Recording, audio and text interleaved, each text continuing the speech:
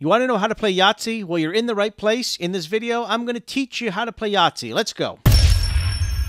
If you've seen other videos on my channel, you know that I over explain, make it super simple, and make it so that anybody can learn to play a game. So in this video, I'm going to teach you how to play Yahtzee as if you're brand new to the game, and then I'm going to do a walkthrough of the whole game. If you want to know how to get good at Yahtzee, you're in luck. The second video I have is not how to play Yahtzee, it's how to win at Yahtzee, and it gives you good strategy tips on how to win. Well, there isn't much you need to know to Yahtzee. There is five dice, and then the other thing is every person playing just needs a piece of paper, which is looks like this. Usually they come with Yahtzee, but you also can go online. I'll put a link in the description and print them out. Yahtzee can be played, in my opinion, with as many players as you want. I mean, at some point, you don't want to be wasting too long for everyone to take their turn, so usually four is a good number, but you could do five, six. The goal of the game Yahtzee is to score the most points. The points come from rolling the dice. We're going to get into all of that in a second. Rolling the dice and then scoring on the scorecard. But let's just talk about gameplay. Well, the gameplay is very simple. It goes in a circle. Every single person on their turn takes the cup with the five dice in it, and you roll all five dice in the cup. You have three rolls, and at the end of those three rolls, whatever is on those dice is your roll, and then you put it in your scorecard. Now, that's the basic statement, but there's a little more to it than that. What you're trying to do is you're trying to get the most amount of points you can in each of these 13 scoring categories. And I'm going to go over that, those 13 scoring categories in a second. And each turn, you're looking to fill in with the maximum number of points one of those scoring categories. And there's strategy strategy that comes with that, which I'm going to explain in a second. Now, I said before that you roll three times the five dice. That's actually not exactly true. The way it works is you roll the five dice on your first of three rolls when it's your turn, and you can pick up as many of your dice as you want and re roll them. If you on the first turn love with what you've rolled and don't want to take a second turn to roll, you can do that. You can stop at one, you can stop at two. But what you're trying to do is determine what you have that you can get the most points on and you then can pick up only picking up the dice that you want to re-roll. You don't have to pick up all five dice. You don't have to pick up, you could pick up four dice. You could pick up three dice. At the end of your third roll, whatever the five dice are showing, you need to then put that in one of the 13 categories on the scorecard. So that means that the strategy is really in the scorecard. Yahtzee actually is an expression which stands for I have no idea, but Yahtzee means you got all five dice to be the same number.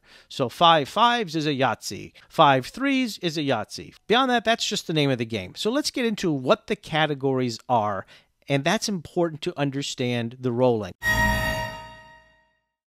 So, just a quick recap a player rolls five dice to begin a turn, then they can take up to two turns doing re-rolls, and each re-roll they can re-roll any dice that they want of their five. And after all three rolls, you can't roll anymore, and you have to choose which category to score that number.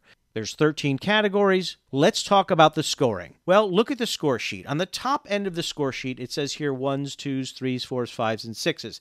And these are actually very straightforward. It's on a turn, you could just try to see how many ones you get, how many twos you get, how many threes you get. And at the end, you add up the total of those numbers and put them in the category. You are going to put a number for each one of these. If you can't put your number somewhere in a category, you have to put zero. So at one point, you got to go for each of the six numbers, and however many you get, you add it up and put it in the card. And then the one extra thing about that is in the scoring, they actually want you to add them up here, and I'll get into the scoring more deeply in a second. But if you come up with a certain number, if when you add up one, th- two, three, four, five, six, all the uh, of these categories, if you have a total of at least 63 points across these six boxes, you actually get a bonus 35 points added to your score. Let's go on to what's below. These are interesting because instead of going to a specific number, these bottom ones could really be anything, and a lot of it's sort of like poker. So this first one, three of a kind. What does it mean? It just means you need to have three of a kind. So you need to have, say, three fours in order to put any points on this line.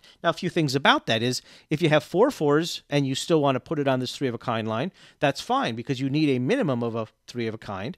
But if you only had, say, two fours, then you actually have to put zero. If you don't have three of a kind, you got to put zero.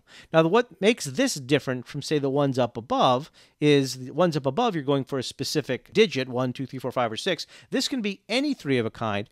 And the other difference is that when you add up your points on this one, you add up the sum of all five dice, not just the three of a kind. In the above half of the scoring card, you're only adding up the dice that you make. So if you're going for fives and you get four fives, you're only adding up the fives. You're not adding up the fifth die. Here, you're adding all five dice. Then the next one is sort of the same thing, but a little, little bit harder. You need to have a minimum of four of a kind. Now, this is is the same sort of thing. You add up the total number of the five dice, not just the four of a kind. And if you don't get four of a kind, you actually have to put zero. Next is a full house. What is a full house? Well, it's just like poker. It's a three of a kind and a pair together. So it'd be like three fives and two ones. It's a three of a kind and a pair. And in this particular case, you don't add up the sum total of the dice by just getting a full house, and that means any three of a kind and any pair, you actually can put 25 points down. The next ones are straights. A straight is a sequential number, so 1, 2, 3, 4,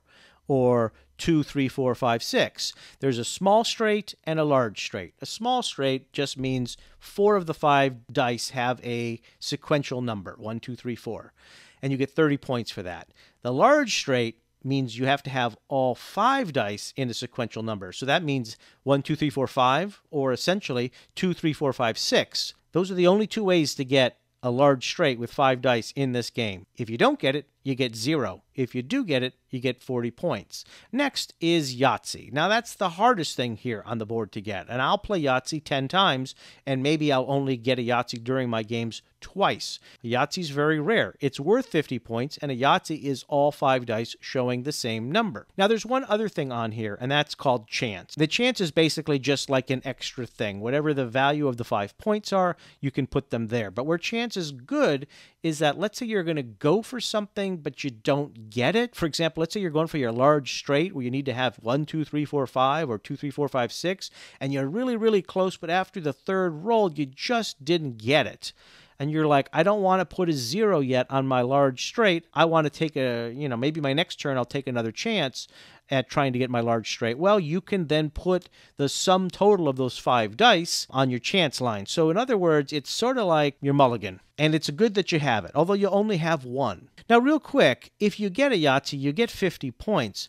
But if you get another Yahtzee, you actually get 100 points. And that's important too because getting a second Yahtzee is an, is a bonus 100 points. That's that's almost enough to just guarantee you're going to win. Let's face it, that's that's a lot of points. And on your Yahtzee scorecard, you have the ability to actually write second Yahtzees and get bonus points. Okay, now let's play it. So, this is me, Puzzling Games, and here's our scorecard. So, my first roll, I got a 1, a 4, a 6, a 3.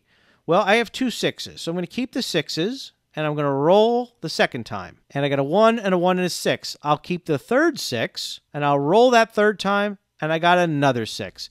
Three rolls, now I have to declare what I'm going to do. So let's look at what I have. I could put them down on the sixes, where you add up the total of the four sixes, which is 24, but I also have a four of a kind here. So I could also add up the sum total of all five dice, give me 28, which I think I'll do because it's hard to get a four of a kind. Who knows if I'll get another one? Now, my opponent got two sixes and three sixes, and he'll actually stick with all of them. So my opponent got a full house. Now it's my turn. I roll again. I've got a one, a two, a four, a five, and a five. I could maybe try to re-roll one and try to get one, two, three, four, five. That would be my large straight. I could maybe just save the fives and try to get more fives, which actually I think is what I'm going to do and I got another five, and I get one more roll, and I got another five. So I got four fives. I've already played my four of a kind. You can only play it once, and once it's been played, you can't put another number in there. I'm going to go ahead and maybe, I guess, play four fives. The sum total of four fives is 20. So I'll put it there. My opponent rolls. He gets two sixes. And he ends up with two sixes. My turn, I will roll my dice. I have a 1, I have a 2, I have a 3, and I have a 5. Well, I'm going to take the risk of trying to get a 4. Thus, I'll have a large straight. So I'll re-roll this. Give me a 4. Nope. I'll re-roll it. Give me a 4. Nope. So I tried to go for a large straight. I didn't get it. Now all I have is the option of chance or what I'll probably do is since I have a two twos, I'll just put it on my twos and it's my opponent is rolling and got two threes. My turn is I roll again. I have this time a six, five, and a four, but two sixes. I think I'll go for the sixes since I don't have my sixes yet. Here, the scorecard here on the right, if it's red, it's just showing you what the score is that you have in this current roll, but black is my actually etched in rolls. Roll again. Uh, two more sixes. oh, I have one more roll coming. With this last roll, maybe I can get a Yahtzee. Here we go. No, but I did get four sixes, so I can put four sixes on my sixes. And you remember, you only add up the sixes, not all five dice here. And so now it's my opponent's turn. I'm doing pretty good on the upper end. Well, my opponent has rolled. Now it's my turn to roll the dice. And I've got a 3, a 3, a 5, a 5, and a 6. Well, I could go for my 3s and try to get more 3s. I could keep the two 3s and the two 5s, roll that 6 again to try to get a full house, which would mean I would either need that fifth dice to be another 5 or a 3 to make a 3 of a kind and a pair, which is probably what I'll do. I'll save these. And now I just need this last dice to either be a 3 or a 5, and I have a full house and it's a five. So I'll take it as a full house. Or I could just keep the five, dump my threes, and try to go for something more. In this case, I want the full house. So I'm filling things in pretty well. I haven't really started to go after. So he had a three of a, he's playing a three of a kind. I roll my dice. I'm looking at it, I've got a six, a five, a three, a five, and a five. So it's three fives. And I don't have a three of a, I have my fives done, but I don't have this three of a kind done here. So I might as well go for the three fives. I know I'll be playing it as a three of a kind now. And maybe I'll try to get a Yahtzee. Roll these other two. Well, that's a two fours, which is a full house, but I don't need a full house anymore. I already have a full house. So roll again and I'll just put it as a three of a kind. I could also put it as a chance or something else, but three of a kind is there. But now I've filled up my three of a kind, four of a kind full house. I still need that large straight, that small straight, a Yahtzee, and I still need my ones, threes, and fours. So here's my turn again.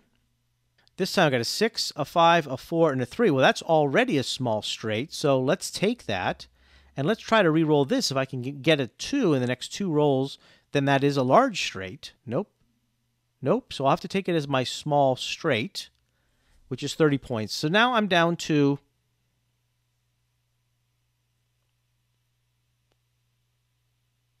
you know, only about five or six rolls left. I still need a Yahtzee, but I also have a chance in case I screw up something. So let's keep going. I've got a two, a two, a two, a six, and a three. Well, I already have my twos. So there, and there's no, and I already have a three of a kind. So there's really nothing here. I think I'm going to actually re-roll all five dice, since really nothing here helps me.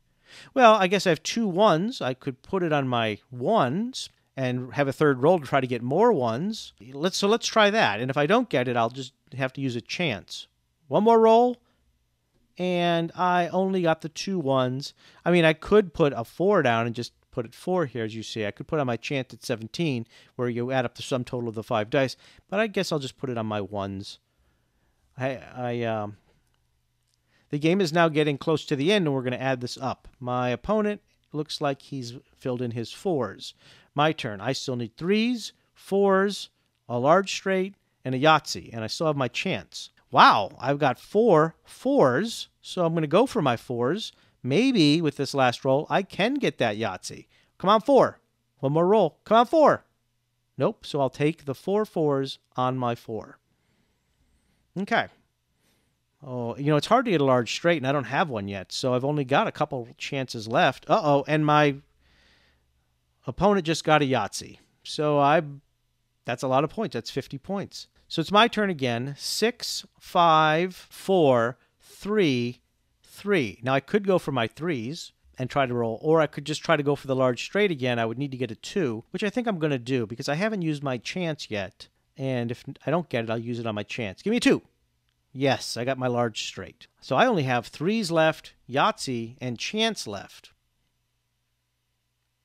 My opponent got a large straight as well. All right, this is going to be a close game. I better get that Yahtzee. So I got one three. Maybe I'll just keep the three and re roll everything and try to get more threes, which I didn't. So let's roll again, which I got zero threes. I'm ending up with one three. I could put it on my chance. And I, th I think what I'm going to do is I think I'm just going to go ahead and put it on my threes just because I thought maybe I won't even get any threes in the next turn.